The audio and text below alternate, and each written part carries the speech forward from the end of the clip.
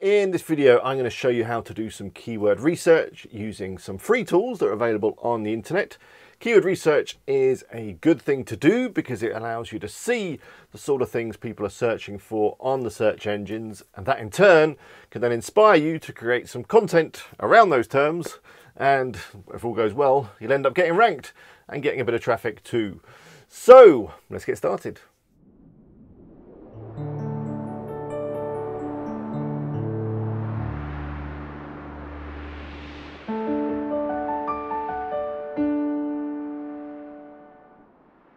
Hello, it's Alex here from WP Eagle. I hope you're all well. So I did a live stream yesterday. There was a few technical issues with the sound, um, but I think I've got them all fixed now, so next time it's going to be much better. But anyway, on that stream, uh, Marcus joined me. He's got a YouTube channel. It's called The Affiliate Marketing Dude, and he's really good with affiliate marketing.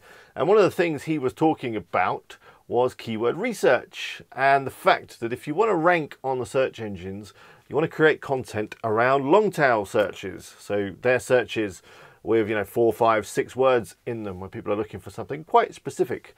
Because that way, if you create some content around those searches, um, there's generally not much competition. So the chances of getting ranked are, you know, greatly increased rather than trying to rank for, you know, one or two word phrases um, that everyone's trying to rank for and there's a lot of competition and it's very difficult to get traffic from. So Following on from that, I thought it's a good idea to show you guys how I do uh, a little bit of long tail research. I'm be using two tools today. They're both free.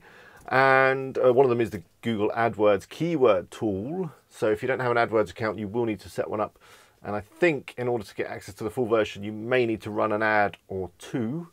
Um, but don't worry about that. You can just spend, you know, a very small amount and get access to the full uh, tool. And also you'll get a bit of traffic from those ads. By the way, I do have some Google AdWords vouchers available. Um, the last time I checked, you got $75 or £75 worth of clicks if you spent £25 or $25, obviously depending on your currency. So if you want one of them, then leave a comment below or something and uh, we'll sort something out and I'll email you over a voucher. But anyway, I think that's enough looking at my face. Uh, let's get on the computer. It's pretty quick and it's pretty easy. And yeah, we should all be done in a few minutes.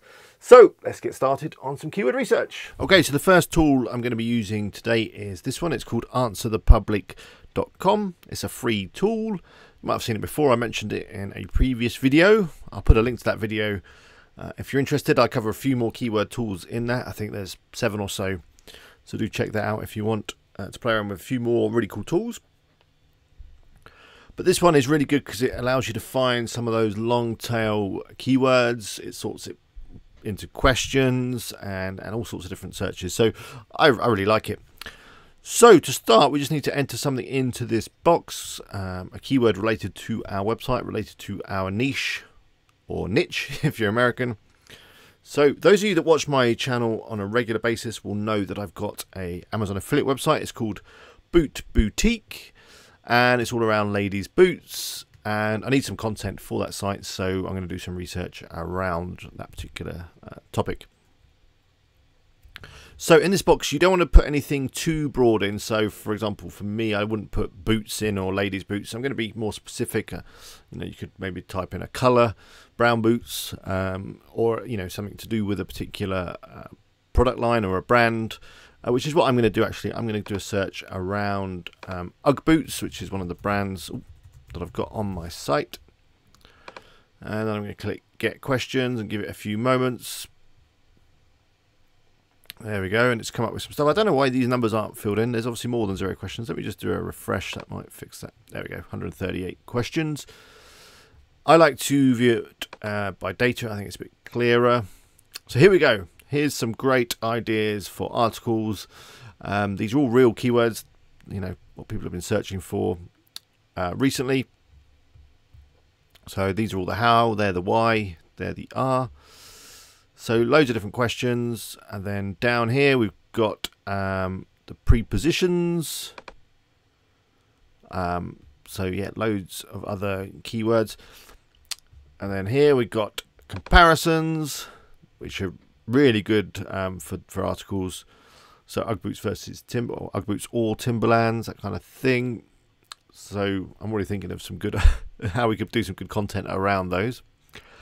But the thing is, with this tool, it doesn't give you an indication um, of the volumes. So we don't know which of these um, terms are searched for on a regular basis and which ones are not used uh, very often. So this is where the AdWords keyword tool comes in. And we can use that to get an idea of volume. So in order to get this information into the AdWords keyword tool, I'm going to come up here and go to download CSV. Now, um, the AdWords tool does have a limit of, um, I think, 700 or so words. I'm just going to rename this so that I know what it is.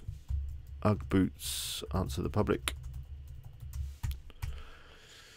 So you may need to edit the, the file. In fact, you need to edit the file anyway just to clean it up. So let's just pop that into Excel.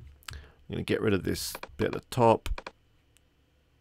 I'm going to get rid of this bit at the top too. I'm going to get rid of these two. Um, these two first column things, don't need them. And then let's just see how many we've got. Let's say, I think AdWords is limited to 700. So if you've got over 700, you're going to need to do it in a couple of uh, goes, as it were, break it down into multiple files. So let's just remove all these that are below there for now. I mean, I would probably just copy and paste them into another file, but for now I'm just going to delete them. Come back to them later, maybe. Oh, that didn't quite delete, did it? Hang on. Right, here we go. Delete.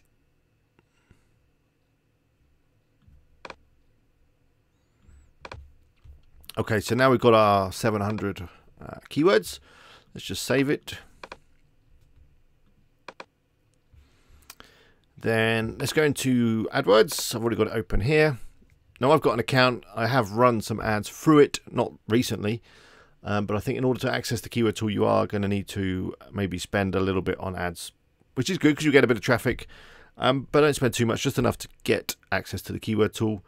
Um, if you want a voucher for AdWords, leave uh, a note in the comments below this video and I'll do my best to hook up with you and send you a voucher. So to access the tool, we go into the little spanner here and then under planning, there's keyword planner. And the tool that we want is get search uh, volume data and trends. And go to option two, upload a file. Get the file,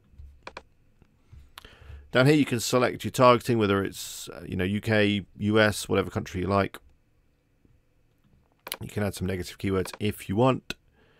Uh, show average monthly searches for last 12 months. That's fine. Let's go. Okay, so here's the data. We can see that there's definitely a trend um, and the searches increase in the winter, which you'd expect. Uh, people don't often wear boots in the summer. Um, so yeah, November and December are the, the busiest months. And then down here we've got all our keywords. And what we want to do is sort it by uh, the monthly searches. So I'm just going to click on that. And here we go. Scrolling down, we can now get some ideas for our content. So, uh, Ugg boots for men could be a good idea for an article. Leather Ugg boots, again, choosing products, making a list, um, putting together a nice bit of content around uh, the best leather Ugg boots baby Ugg boots, girls Ugg boots, uh, children's Ugg boots, Ugg waterproof boots, Ugg boots with bows. That's a very specific term. And um, I doubt there's much content on Google around that. So you could create a nice article linking off to products, linking off to Ugg boots with bows, if there is such a thing. Um, and if there isn't, then you create a bit of content, you know, maybe just saying that there isn't any and here's some alternatives, that kind of stuff. But yeah, we scroll down, and this average monthly searches gives us an idea of the volume. I mean, I would still create articles for this stuff down here, even if it's got like 480 or 390, because bearing in mind that is an average. So, you know, in the winter months, that's probably going to be quite a bit higher. Um, and, you know, the less volume, in theory, the less competition. I wouldn't worry about this competition column. It always says high in AdWords for some reason. But yeah, so that's about it. Now we've got our list. Um, you can, if you want, you can kind of add a little plan over here, so um, get an idea of um, the keywords you want to use, and then I think you can download it as a CSV.